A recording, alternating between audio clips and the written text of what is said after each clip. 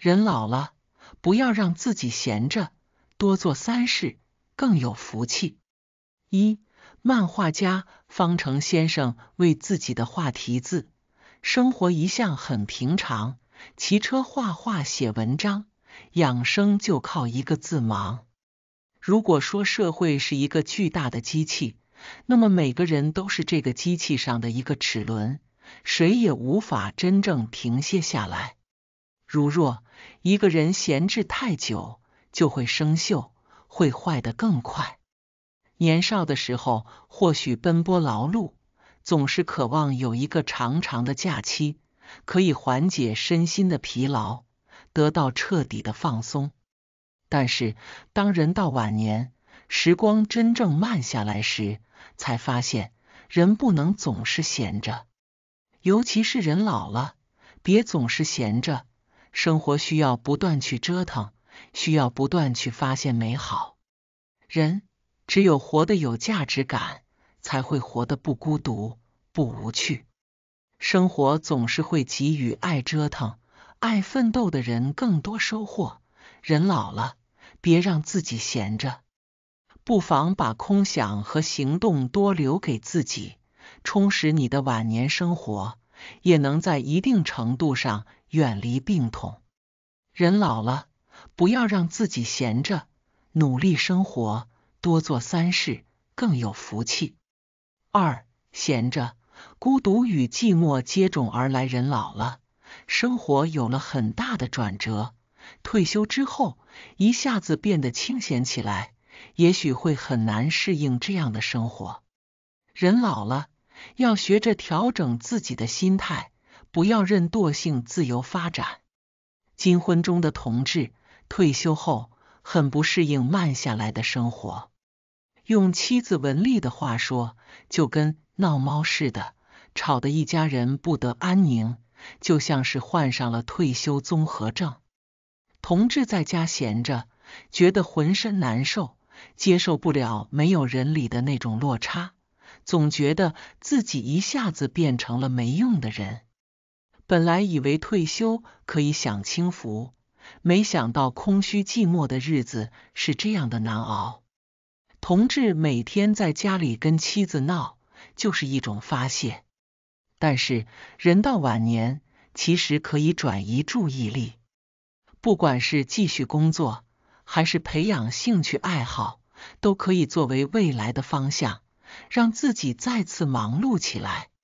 生活太闲，容易变得空洞，无所事事，便会让自己觉得活着仿佛已经没有意义。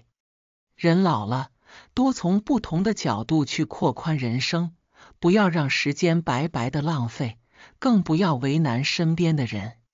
人老了，或许能力不如之前那么强大，但可以制定适合自己现在状况的计划。依然可以拥有更好的生活。三人老了，力所能及的劳动。罗曼·罗兰说：“生活中最沉重的负担不是工作，而是无聊。人老了，或许很多精密的活做不了，思维能力也会比较迟钝，或许跟不上时代的潮流。但是在这个世界上，工作有很多种，总会有适合自己的，总会有让自己做的开心快乐的事。不要放弃，尝试着让自己忙碌起来。不管是种花种草，还是发挥余热，都能重新找到自己的舞台，能够获得更好的生活。人老了，力所能及的劳动，一方面可以锻炼身体。一方面可以活出自我的价值，做家务活虽然不轻松，却可以让自己有舒适的生活环境。做做操，跳跳广场舞，多运动一下，提升自己的健康标准，让自己精神饱满，活得更加有活力。别让自己闲着，忙碌起来是最好的养生方法。晚年的时光里，健康是宝贵的财富，劳动也是维持健康最佳的方法。不妨从劳动中提升晚年生活品质。四，人老了，别停止学习。这个世界上，或许工作会戛然而止，梦想也总有完成的那一天。但是学习是永无止境的，需要不断的去探索和研究。每一个人或多或少都会有一些兴趣点，有的喜欢音乐绘画，有的喜欢唱歌跳舞，有的喜欢赏花下棋，有太多的领域，值得人们花更多的时间去深耕，并且会在这些领域得到更多的乐趣。人这一生有事做，便不会觉得无聊，便会碰到很多志同道合的朋友。感受到人生更多的快乐与满足感。人老了，别停止学习，找到新的兴趣点，别让自己与社会脱轨。当一个人能够把握好自己的人生节奏，就不会觉得寂寞空虚，不会在这种负面情绪中迷失自己。闲太久会瓦解一个人的斗志，会让人越来越累。内心会有很多恐惧和迷茫，会引起很多的焦虑，也会有更大的压力。生活其实就应该这样：有追求，有目标，有事做，人生就会很有意义，并且可以过得精彩纷呈。人到晚年，别让自己闲着，努力生活，人生会过得更加充实。人老了。要送给自己三个字：在路上，不要停下来。要么在锻炼身体、维护健康的道路上一直走下去；要么在学习提升、不断丰富自己内涵，不停的学下去。不要让自己闲着，一定要走在向上的道路上。充实美好的人生，会让人收获更多的幸福感。一个人有事做，生活就会充实。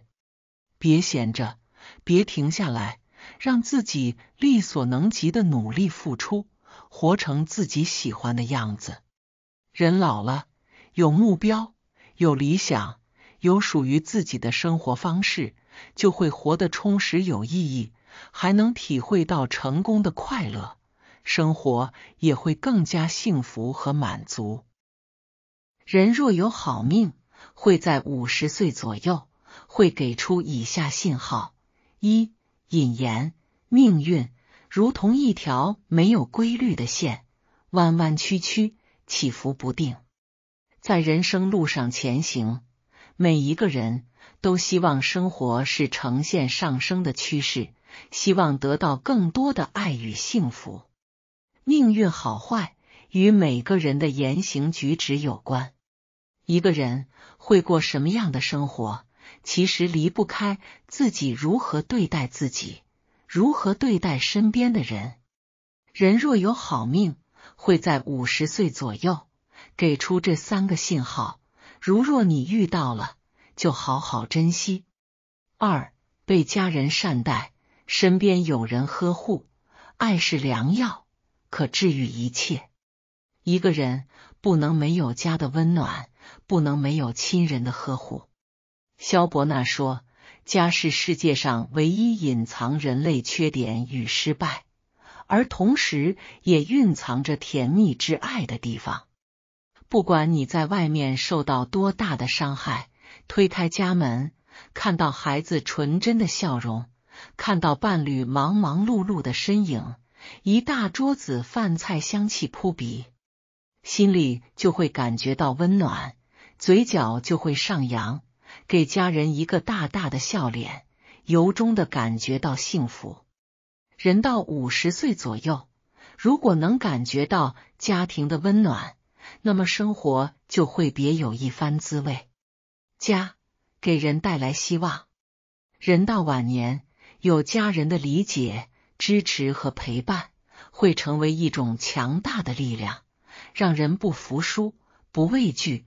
不孤独，即便遇到再难走的路，也会选择坚持下去。幸福就是被家人善待，身边有人呵护，有人陪伴。三、身体健康，干活做事有冲劲。好命的人到了五十岁，身体健康，很少生病，有灵活的头脑，可以挑战各种工作，体力比较好，整个人呈现出一种比较年轻的状态。生活家中的邱小霞，女儿大学毕业参加工作之后，她仍然充满热情，拥抱生活。一开始，她在酒店做清洁卫生工作，后来才和王世成一起开烧烤店。知道王世成想用好的桌椅，但预算不够，就立刻给他想办法。他让他进了一些马扎。帮他去火车站卖掉，通过这个方法凑够了买好桌椅的钱，让王世成特别佩服。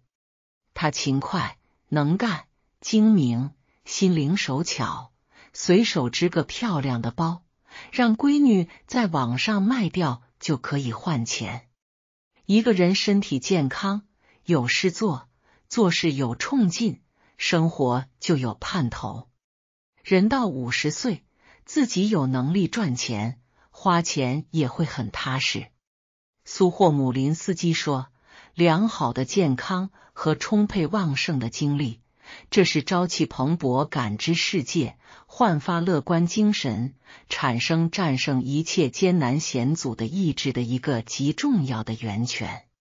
身体好，头脑灵活，对生活就会充满希望。”做事有冲劲，心怀希望，不管遇到什么问题，都相信只要自己不放弃，一切都能好起来。四儿女孝顺又有出息，不操心。斯汤达说：“老人受尊敬是人类精神最美好的一种特权。作为父母，有大半生是为了子女而活，辛苦赚钱。”希望他们吃饱穿暖，受到良好的教育，成为一个有用的人。当他们长大，能顺利步入社会，找到适合自己的工作，不再需要父母为其付出。人到五十岁，儿女孝顺又有出息，不用再操心他们的事，这就是一种幸福。有的人到了五十岁，还过得很焦虑。每天都在为了儿女的事操心，儿女孝顺，关注你的身体状况，督促你养生锻炼，让你不要舍不得吃穿，多对自己好一点。每天回来都能给你讲讲他都经历了哪些事，获得了什么样的进步，让你为了他而感到开心。有这样的儿女，晚上做的梦都是香甜的。整个人放松下来，过着舒服闲适的生活。人过半百，儿女孝顺，不用为其担心，就能过得福气满满。人生之路，你想过什么样的生活，其实都靠你自己掌握。如若你为家付出更多的爱，那么家人也会好好爱你，给予你更多的关怀与呵护。爱惜自己的身体，戒掉坏习惯，注意养生，养育好子女，待儿女长大了，生活和工作都很顺利，不再需要父母照顾，开始回馈父母的恩情，生活会更美好。走好未来的路，珍惜现下拥有的一切，命运会一直眷顾你，让你体会到更多的幸福。人活着，管好自己就行。其实，人活着管好自己就可以了，不要去管别人，不要去操别人的心。去管别人，去操别人的心，其实就是给自己增添烦恼。为什么有时候明明我们是好心的，我们的好心却不能够得到别人的理解？就是因为我们超了。我们超出了自己的界限，我们踏入了别人的界限，所以说我们是逾越了。很多时候，我们以为这件事情是我们该管的，其实这件事情并不是我们应该管的。诚然，只要每个人人人都管好自己，这个世界就会多一份美好，这个世界就会多一份通透，这世界就会多一份幸福。一个人能够管好自己，管好自己的衣食住行，管好自己的所有，这无疑是不给社会添乱。人人都有一颗做好自己的心。那这个世界就会少了很多烦恼，少了很多麻烦。人活着，管好自己就可以了，别不知道。一，管好自己的心情。人活着，为什么要管好自己的心情？因为人活着，很多时候很多麻烦就是因为自己的心情而引起的。如果一个人能够管理好自己的心情，让自己的心情处于平和的状态，不急不躁，从从容容，坦坦荡荡，那无疑是最美好的样子。一个人的心情好不好，决定了他的幸福指数有多少。一个人心情好了，他的身体就会好。大部分的身体不好，都是因为心情不好。所以，想要拥有一个健康的身体，必须拥有一个好心情。一个人成熟不成熟，就看他的心情能不能被他自己所掌控。掌控好了自己的心情，掌控好了自己的情绪，就是掌控好了自己的人生。哪怕大风大浪，哪怕波涛汹涌，只要你的心情是平复的，只要你的心情是平稳的。你就能够安然的度过难关，所以人活着，管好自己的心情最重要。别再乱发脾气了，为了自己，为了自己的将来，好好克制吧。二，管好自己的当下。一个人如果能够管理好自己的当下，其实也就管理好了自己的将来。为什么这么说呢？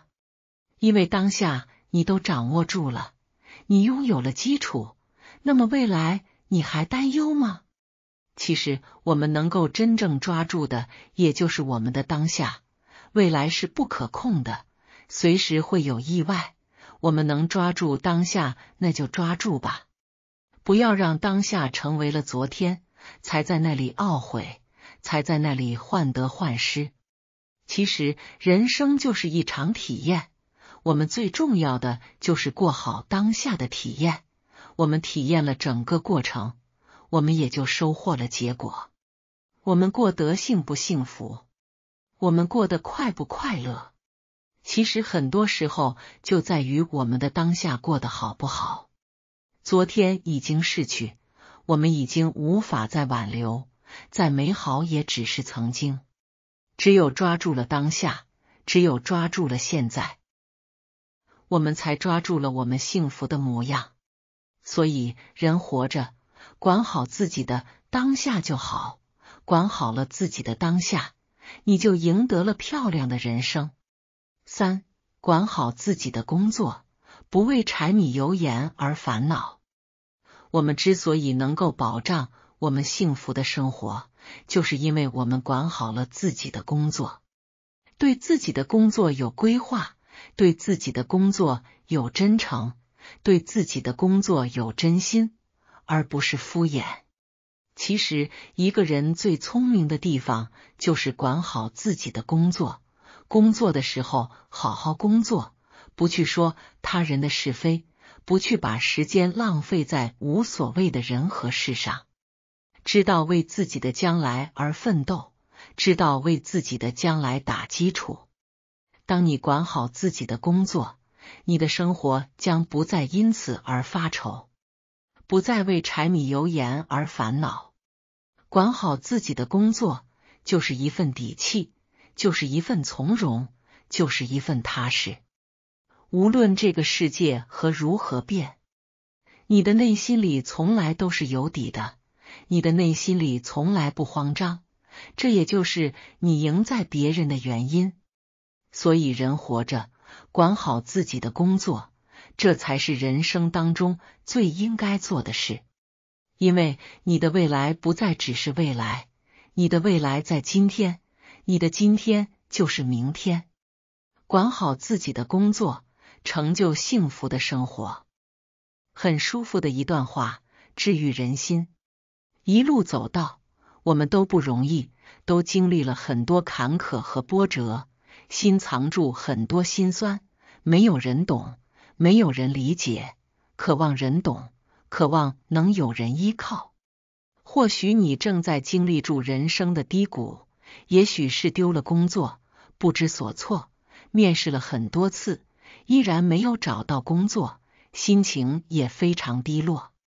也许是你在感情上遇到了不顺，遭遇了背叛，自己付出了那么多，到头来还是爱而不得。也许是你努力了那么久，追逐了那么久。却一夜之后化为了空白，你不甘，你不服，你心里不爽。也许是你检查到身体出现了大问题，一时接受不了。这样的倒霉事怎么就会发生在自己身上呢？于是想不通，也无法接受，把自己关闭起来，不见别人，情绪也非常无常。不管你是哪一种情况。其实人活着都不容易，人活着始终会遇到各种各样的事情，世事难料，人生无常，遇到什么事情，其实都不要慌，不要说放弃，生活依然要继续往前走，就算生活很难，还是要好好过。每个人来到这个世界上，其实都有自己背负的责任和压力。心中的委屈和苦楚或许很多，也没有人能够理解。但是希望你能够好好爱自己，坚强一点，看开一点。这么多年，一个人走过来，应该看清了一些人情世故，也看透了世态炎凉。往后的路，还是要靠自己走，不要去指望和求人。人生所有的不顺和逆境。就学会坦然接受吧，没有什么是过不去的。只要你不放弃，只要你熬得住，只要你挺过去，别担心，别着急，一切都会好起来的，一切都会慢慢步入正轨的。人这辈子，关于工作这件事，能够找到一份自己喜欢的，当然是好。但是每一份工作其实都是一样的。工作上的事情总会有不顺心的时候，哪怕有一天你失业了，你也不要抱怨，更不要想不开，放平心态。此处不留人，自有留人处。工作没有了，那就重新再找吧。不要因为一份工作而跟别人较劲，跟自己过不去。生活照样要过，没有人会管你死活。只有自己过顺心了，才能让自己拥有幸福的生活。如果人生里时再有很大的压力，让自己喘不过气来，那就要学会适当地去发泄压力。有人去运动，有人去爬山，有人听歌，有人做自己感兴趣的事情，有人吃甜点。找到适合你的方式，让自己轻松下来。让自己快乐起来，人生就是这样被治愈的。人这一生，关于感情这件事，要随缘，别强求。感情是强求不来了，爱的时候就好好爱，不爱了也别耽误别人，更不要伤害别人。缘聚缘散，缘起缘灭，学会随缘和放手。爱情不是人生的全部。眼前的这个人，你在喜欢，然而对方不爱你了，一厢情愿和强求在一起都不会有幸福。最好的感情永远是双向奔赴，不要卑微讨好一个不爱你的人，对方不懂得珍惜你，那就不要再付出了。你的好应该留给那个对的人。没关系的，缘来缘去。这段感情过去了，就放平心态，迎接下一段感情就好了。错的不去，对的不来。所以你别着急，也别担心，感情这件事本就要随缘，缘分到了是你的，总会眷顾你的。人这一生，关于生活这件事，冷暖自知，就按照自己喜欢的方式活着吧。一岁一枯荣，草枯了，来年可以继续发芽；花落了，来年还会再开。而人生只有一次，失去了就回不来了。人生苦短，好好活在当下，好好感受生活，看开人生所发生的一切，接纳生活的柴米油盐酱醋茶，接纳人生的一地鸡毛。既然活着，就不要白白浪费，好好给活着，积极面对人生的苦难，积极面对悲欢离合。生老病死，人生如梦，岁月无情。蓦然回首，才发现人活着是一种心情。每个人都会老去，放松心态，放宽心情，无法左右的，我们就学会看淡，学会随缘。这一生的路坎坷无数，没有谁能预知下一秒有何事发生。我们能做的，除了珍惜当下，就是做好自己。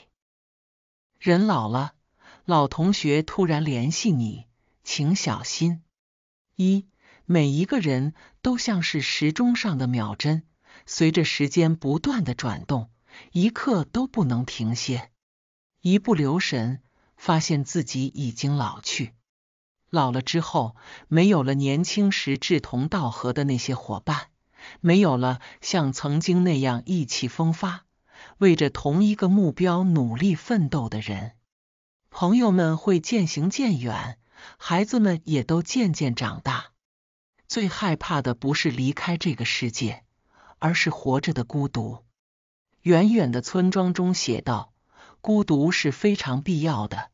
一个人在孤独时间所做的事，决定了这个人和其他人根本的不同。”一路走来，经历了太多的事情，酸甜苦辣、悲欢离合，一件件往事历历在目。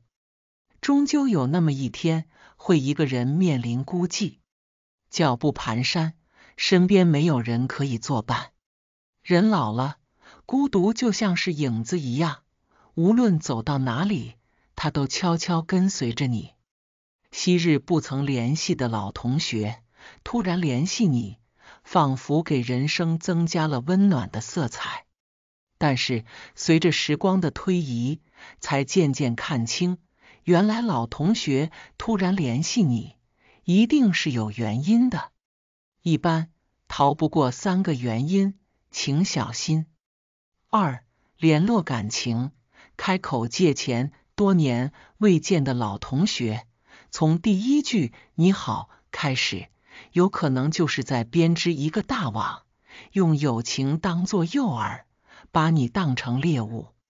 有一些不曾联系的同学突然联系，可能是为了找你借钱。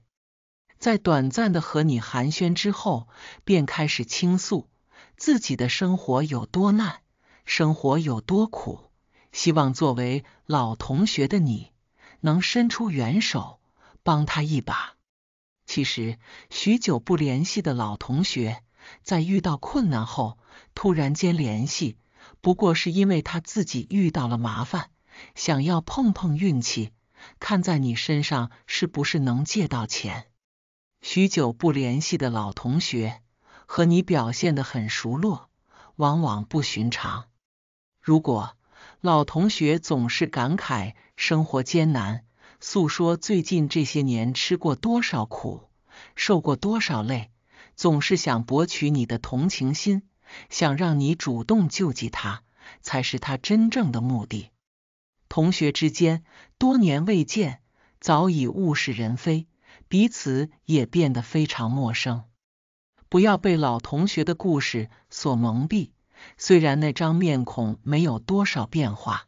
但是他的心绝对不会再有之前那样纯净的情谊。一个人借钱，一定是他会先找他身边熟悉的人借钱。许久不联系的老同学想找你借钱，大抵已经把他周围的人借遍了。如若你将钱借给他，他可能没有归还的能力，不过是借着同窗情谊换取他想要的金钱。三、利用同窗情求你办事，许久不联系的老同学突然联系你，可能是想利用人脉求你帮他办事。人生路上，每一个人都有自己的原则和底线，但是仍然会顾及一份人情。尤其是重情重义之人，总是看在当年就同窗的份上，会给老同学几分薄面。但是老同学可能是在利用重情重义的人，苦苦哀求，希望能走一些捷径，帮助子女或者自己，让自己的日子更上一层楼。对于许久不联系的老同学，彼此相聚在一起。聊一聊过去的那些往事可以，请他吃顿饭也无所谓。一些小事情彼此相互帮忙也无伤大雅，但是不能强人所难。如若老同学所求之事很过分，如果为难，就直接拒绝。人生路上没有分寸感的老同学不值得深交。同学一味的利用同窗情的人也不值得深交，不要轻易成为别人利用的棋子。一次拒绝之后，对方就会知道你的脾气，不会再敢轻易开口，也能让生活恢复到以前的安宁平静状态。四、消遣孤独，找人买单。人老了，因为孤独。总是忍不住去联系老同学，时常聚在一起吃吃喝喝，似乎很热闹，很开心。其实有一些许久不联系的老同学突然联系你，参加各种聚会，消遣孤独，其实是想找人买单。如果老同学总是频繁打扰你，邀请你聚会，邀请你买单。那么，请果断拒绝来往。当一个人只浪费你的时间，排解他的孤独，不能带给你正面的能量，整日缠着你吃吃喝喝，却又十分小气，从不买单，这样的老同学是在消耗你。慢慢的疏远他，学会拒绝他的邀请，慢慢的远离他的世界。不要为别人的愁苦买单。不要被许久不联系却又突然出现的人所影响。人生很宝贵，没有任何理由去浪费。真正在乎你的老同学，会在和你做朋友时在乎你的感受，懂得礼尚往来，不会一味的消费你的时间和金钱。人老了，请学会择友，学会管理自己的圈子。不管自己有多孤独，不要随意结交朋友，不要随意将自己的真心交给别人。爱因斯坦说：“世间最美好的东西，莫过于有几个头脑和心地都很正直的严正的朋友。”人老去会害怕孤独，渴望多交朋友，排解孤独。但是面对人际关系，要保持清醒和冷静。一些很长时间没有联系的朋友，要重新审视对方的为人，重新拾起彼此之间的友情，也需要再次考察老同学的人品。好的友情需要慢慢的累积，人心更要通过时间来检验。如果许久不联系你的老同学突然联系你，看出他的居心不良，就要懂得保护好自己，学会拒绝，不要为人际关系所累。人生没有多少光阴可以挥霍，也没有多少钱财可以花给不值得的人。对于不常联系的人，不要太快付出真心。如果他们突然与你发生联系，应该保持警惕。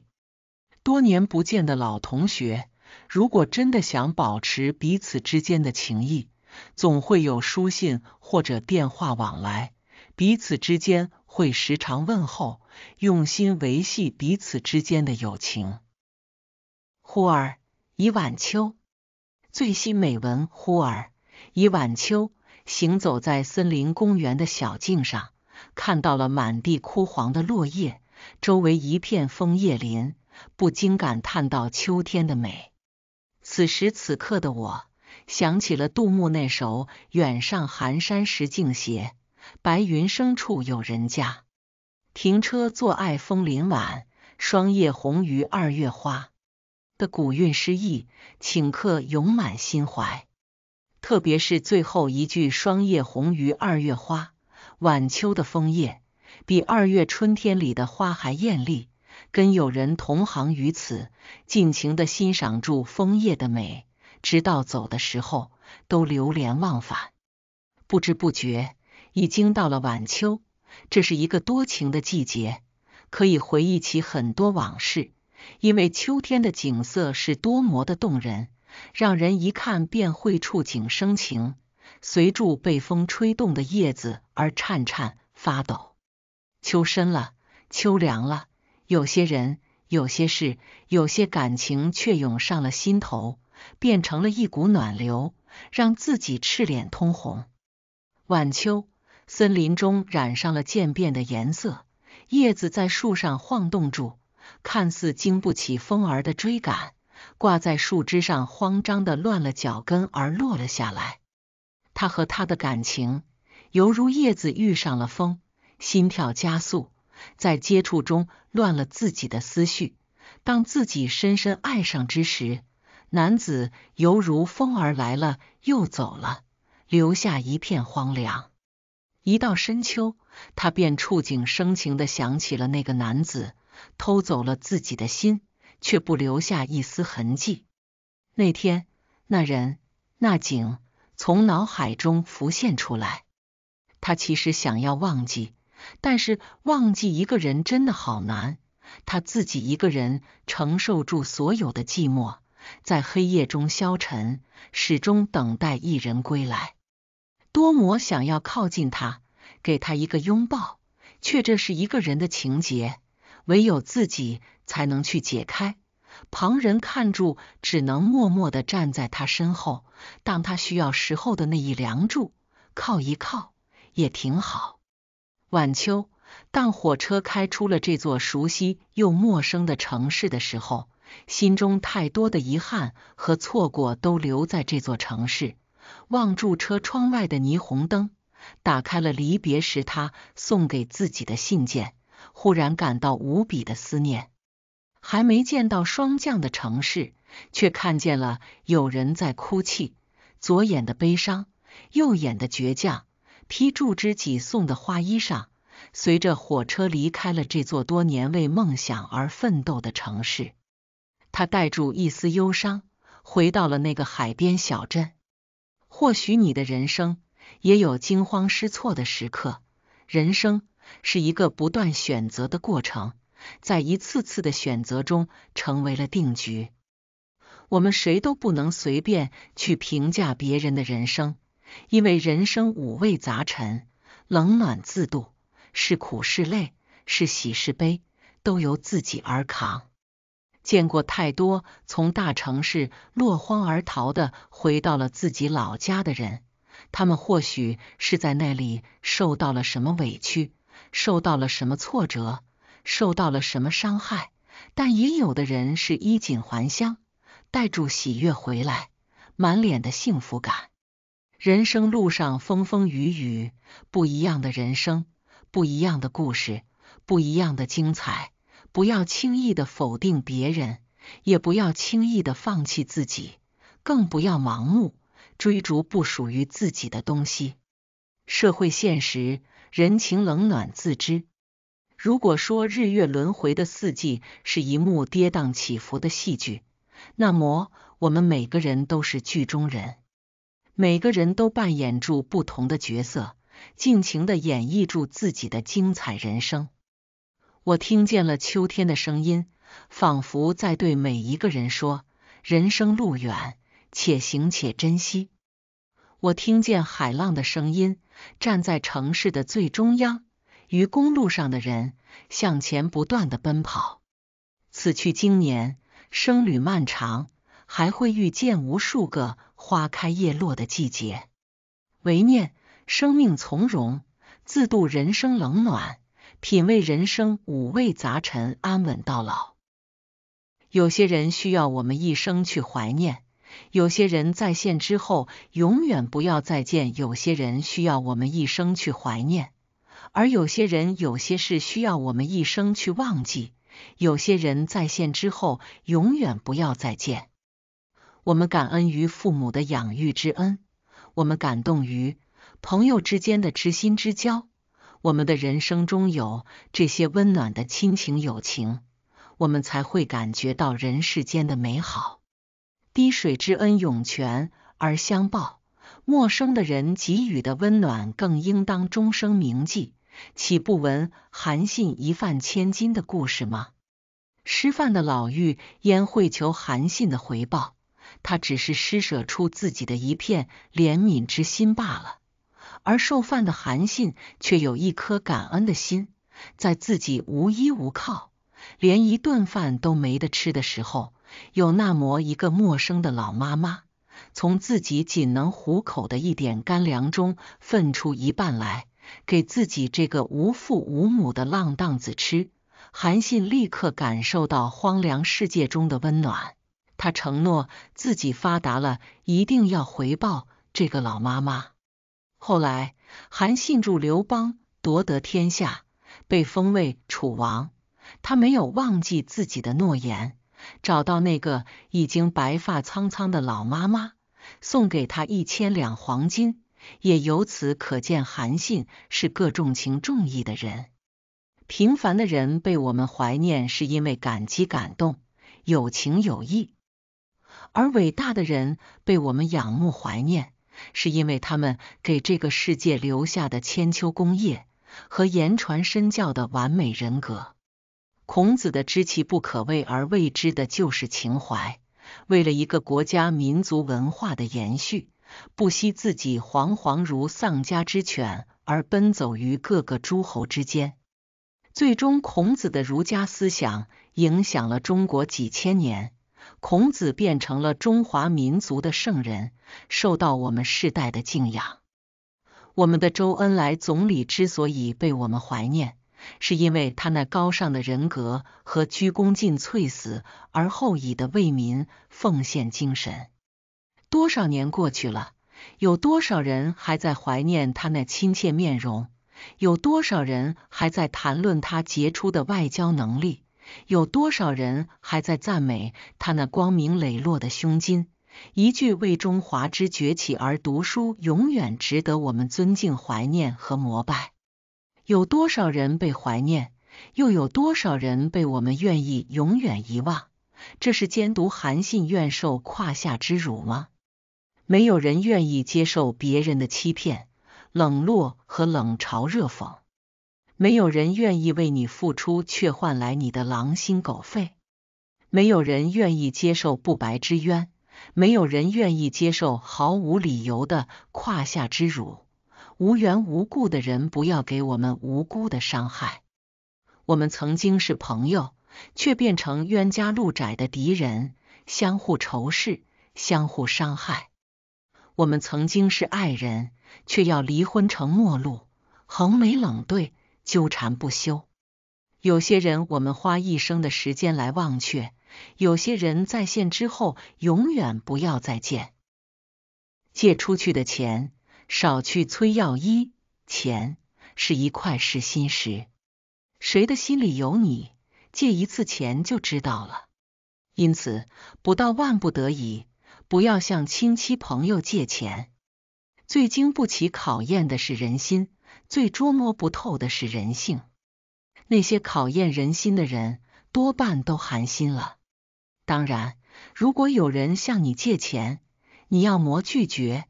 要么痛痛快快答应，别磨叽。当然，钱借出去了，就别去催要了。二，不去催要是给人留面子。作家三毛曾说：“与朋友之间不要有金钱来往，不要借钱给朋友。要是你借钱给人家，就像胡适先生一样，我借了就不要求还。”林语堂在一九一九年的时候向在北大任教的胡适借钱，林语堂来信说：“能否由尊兄作保他人借贷一千美元，待我学成归还？”后来，林语堂学有所成，生活上也慢慢脱困了。他准备还钱的时候，才发现胡适借钱给他的事情，从未向外人说起，也没有打算催要。一个人不是落魄到一定的地步，是不会开口借钱的。如果别人开口向你借钱，多半是穷到了极限。你要是催要别人还钱，别人还不起，场面非常尴尬。那些有良心的人，即便不去催要，也会主动还钱。万一他一辈子都还不起，起码这份恩情还在，他会记得你的好。借钱从一开始，你就要抱住一种施舍的心态，不管对方是不是还钱，你都要听之任之，一切都交给对方做主。也就是说，你放弃讨债的主动权。人要脸，树要皮，大多数的人都是要脸面的。因为借钱闹翻脸的事情真的不少。我的一个堂弟前年的时候，因为父亲住院，向大姑借了两千块钱。大姑家建新房子，需要花钱，就催我的堂弟尽快还钱。当时堂弟正在东莞，还弄丢了工作。堂弟接到催债的电话，立马就说：“大姑，我是一个失业人员，你问我要钱也看时候啊。”堂弟的话让双方的关系顿时就僵住了。过年的时候，堂弟也没有去大姑家拜年，似乎两家人结仇了。事实上，堂弟有还钱的打算，但是心有余而力不足。穷人的面子也是面子，可是他没有办法去挽回。如果一个人心地善良，那么他一定会想办法还钱。你不会向善良人催要钱，他还会感激你，同时内心会有愧疚感。三借钱不还的人，催要也没有用。那些没有良心的人，你去催要钱，无疑是要碰一鼻子灰。这年头，总有一些人借钱的时候乖巧的很，可以说一箩筐的好话，但是钱到手了，立马就翻脸或者躲起来，谁都联系不上。你找他要钱的话，他比你更高调，让你对他阿谀奉承。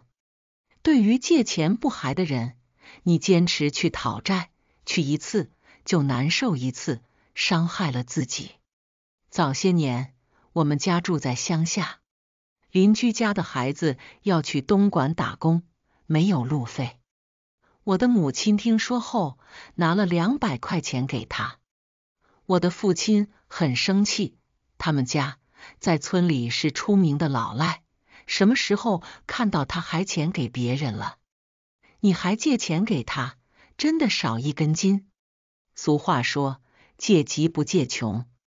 母亲的做法也没有错，毕竟借钱的时候，邻居家也是黔驴技穷了。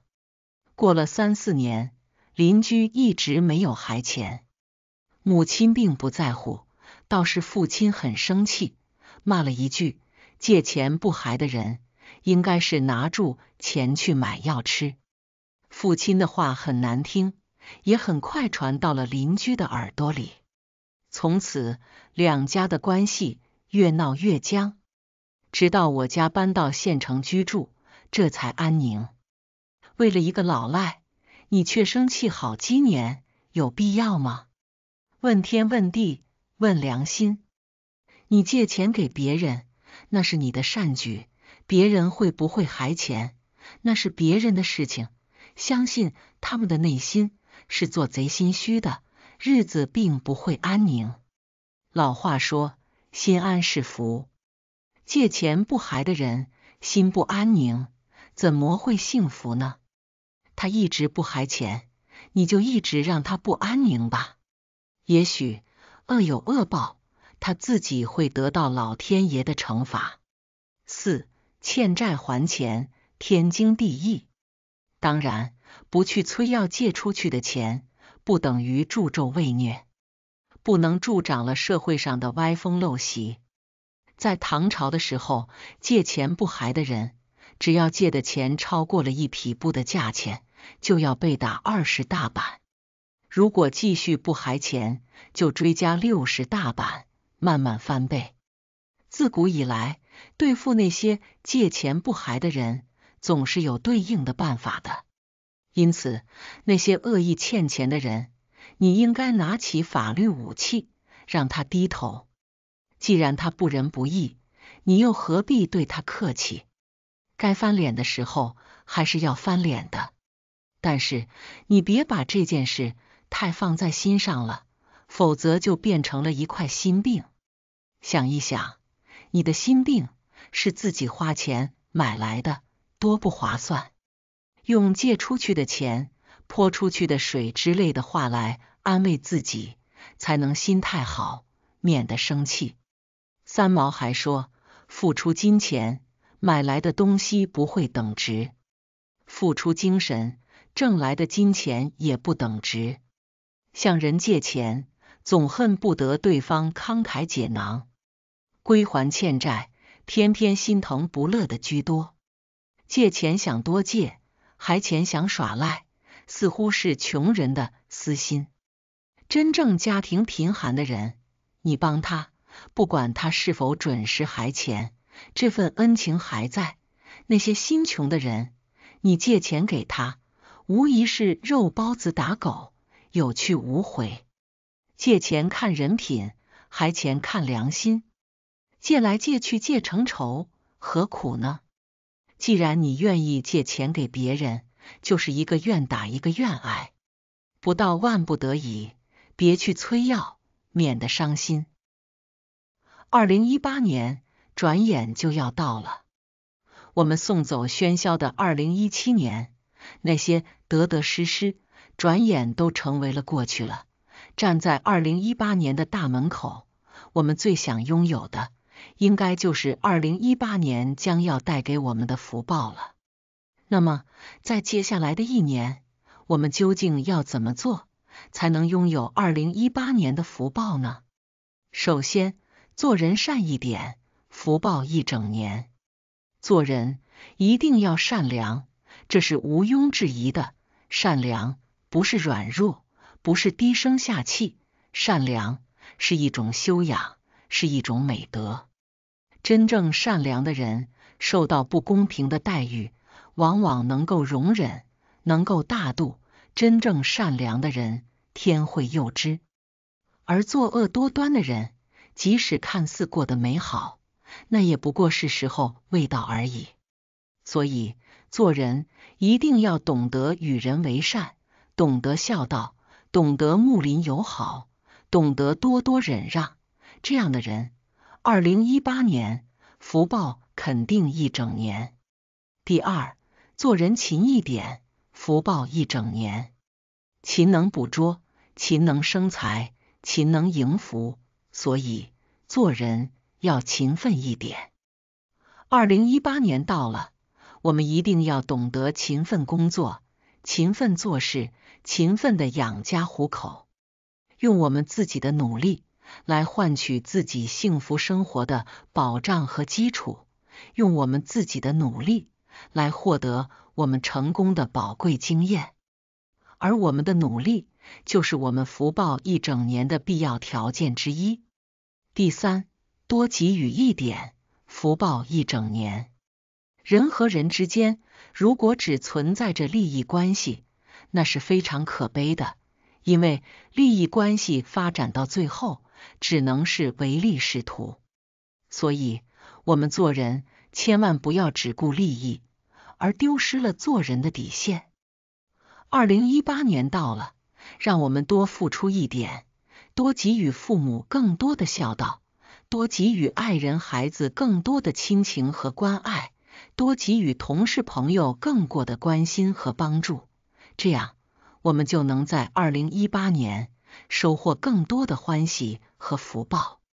第四，做人圆通一点，福报一整年。做人无疑是需要圆通了，太尖锐，往往伤了别人，也伤了自己。古语“杀敌一万，自损八千”，讲的就是这个道理。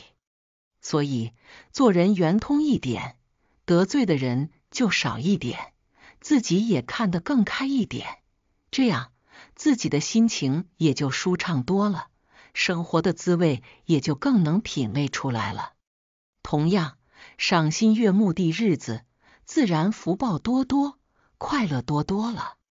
第五，养生多一点，福报一百年。其实，健康就是一种福气，就是一个人最大的福报。所以。我们要想方设法保护我们自己的身体健康，想方设法的让自己健康起来。平时要懂得养生的知识，不要过多地消耗自己的身体，不要再三的让自己的身体超负荷运转。一个人如果失去了健康，就几乎要失去自己福报的根底。所以，懂得养生。保护好我们自己的身体健康，我们的福报才会维持一百年。当然，人生之中还有很多事情需要我们好好的对待，但以上的这五件事情我们做好了，二零一八年我们的福报就会接二连三的来找你。好好做人，好好做事，热爱我们的生活。热爱我们身边的值得爱的每一个人，是我们拥有福报的根本。二零一八年到了，就让我把这五点和佛教歌曲《大悲咒》送给各位朋友们，祝福各位朋友二零一八年福报一整年。很漂亮的五句话，悟透人生，精辟导语。很漂亮的五句话，悟透人生。一人生不谈亏欠，珍惜胜过一切。人这一生，不管是遇见谁，跟谁分离，为谁付出，其实都不不需要说亏欠，因为付出都是心甘情愿。你在付出的时候，其实是享受这个过程的，所以哪怕结局不如你愿，也不必去谈亏欠，因为人生没有亏欠。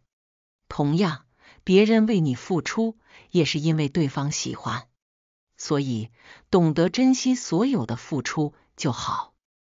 无论你这辈子过得怎么样，都是你自己的因果，不要去抱怨别人，更不要去说别人亏欠了你。人生一辈子，过上什么样的生活，都是靠自己，无需责怪别人，都是自己的选择和付出。人不管是普通还是出众，都有各自生活的意义，都有自己的人生价值。人与人之间没有亏欠，一切都是心甘情愿。别用亏欠来纠缠，情出所愿，就无需后悔。二，人生短暂，不问过去，不问归期，不问人心。人生匆匆，在这趟旅途中。我们都会经历坎坷与不顺，也会遇到美丽的风景。每个人的人生都其实起起落落，因为这是人生的常态。我们不问过去，要让过去的成为过去。不管曾经是美好还是不堪，不管曾经是富贵还是贫穷，我们都尽管活在当下，放下过去的所有，只有向前看。才能重新开始生活。我们不问归期，但行好事；莫问前程。你尽管努力，尽管尽人事，然后听天命。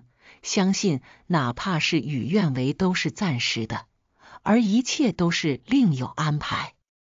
你所有的努力都不会白费，你所有经历的事情都会成为你人生中的一种经验，成为你驶向未来的铺垫。所以，只有咬牙坚持，不问归期，便是未来可期。我们不问人心，不管这一生我们遇到了什么人，我们尽管做好我们自己，而记住别人的好。人心其实谁都很善变，这是不可否认。而我们做到问心无愧就行了，其余的不用理会那么多。三，人生中的舍与得都是相对的。有一句话说：当你紧握双手。里面什么也没有。当你打开双手，世界就在你手中。人生有舍才有得，握不住的沙，不如扬了它。于是，当你学会了舍弃，你便获得了轻松。人生得失就是这么奇妙。如果你总是放不下一样东西，那么你就会活得很痛苦。如果你舍得放下某一段过去，某一件东西，放下心中的执念和欲望，那么你的心灵就会得到了释放。人也不必永远提住情绪上路，而是轻松做自己。越是舍不得，越会失去最珍贵的东西。所以，有时候选择放手也是一种得到。四，莫生气，会让别人得意，而气坏的是自己。生活不是用来生气的，而是用来过得幸福快乐的。生活会是一地鸡毛，但是如果我们为了生活的这些小事而生气，消耗的就是自己的精力。人与人之间，因为一点事情就生气、就动怒，别人根本不会同情你，反而得意，因为你一生气就输了。生气只是拿别人的错误才惩罚自己，伤心又伤身。经常生气的人身上总是充满了负能量，谁见了都不敢靠近，因为会影响心情。所以我们要学会释怀，放下烦恼，开心做自己。凡事看开一些，心宽一点，才不会活得太疲惫。五人。要在岁月中修炼自己。岁月不断的流逝，一岁年龄，一岁心境。我们要在岁月中修炼一颗平常心，宠辱不惊，闲看庭前花开花落，去留无意，漫随天外云卷云舒。我们要在岁月中修炼一颗包容的心，包容别人的缺点，包容别人的过错。包容自己的一切，包容人生发遇到的一切，学会跟自己和解，与世界和解。我们要在岁月中修炼一颗豁达的心，淡然人生起落，笑看人生坎坷，坦然接受所有的悲欢离合，顺其自然，随缘而安。在岁月中修炼自己，如同那一句：“回首向来萧瑟处。”归去，也无风雨也无晴。